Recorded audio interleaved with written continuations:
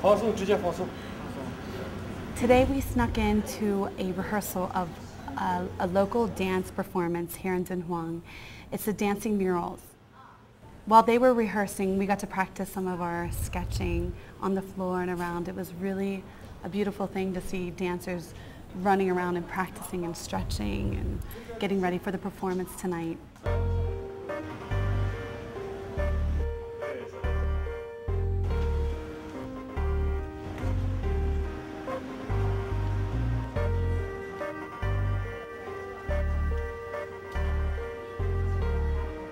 It was a precursor to what I was actually going to see this evening. The Dancing Murals is an ancient dance in Dunhuang. It's based on the frescoes made in the Mogao caves. It wasn't until 1980s that they actually interpreted the drawings that were on the cave and made it into a, a modern dance. Let's talk about food. Um, this whole trip has been this extreme culinary experience. Earlier today, our local host here in Dunhuang, uh, Mr. Ren, arranged a banquet for us.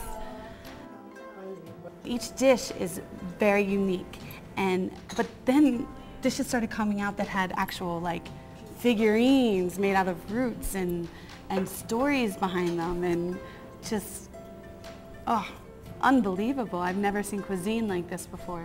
It was fun. It was actually fun cuisine. Kiss first. Kiss first. Yeah. The tastes are just divine. I, I, I can't even really compare it to a lot of food back home because I just had never really had anything like it. We mainly were having local cuisine here in Dunhuang. And these weren't recipes that were handed down from generations from like someone's great grandmother.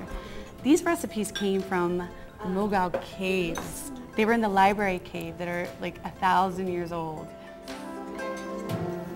One of the things I did find out about uh, the traditional banquets that they have here is that they do like to drink. And um, You need fortitude to be able to come to these meals and be able to drink as much as you are drinking. That stuff is wicked.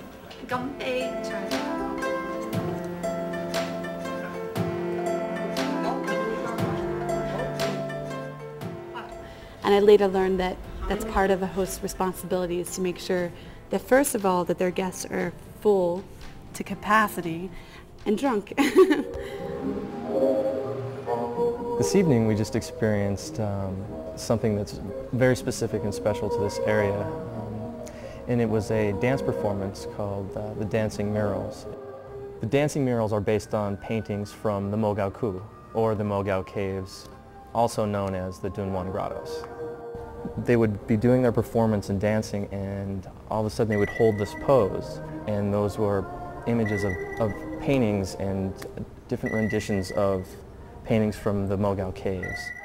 Another one was the Buddha of a Thousand Hands, and there was these costumes and these just yellow and had these brilliant gold uh, extensions on their fingers. Their movements are so fluid, it's almost like a brushstroke, which just completely relates back to the artwork that they're trying to portray. Seeing the dance today was really interesting as well for me as an artist because so far everything that's artistic here in Dunhuang has some kind of reference to the Mogao caves and I haven't even seen them yet. I think seeing them as performance art and as paper cuts is giving me the gravity of what they mean to this community.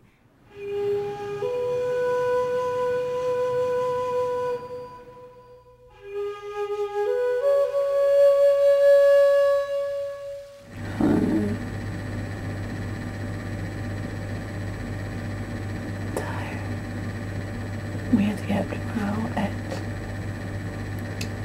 four. It's twelve fifteen. So we can go ride camels. I love camels. I'm excited.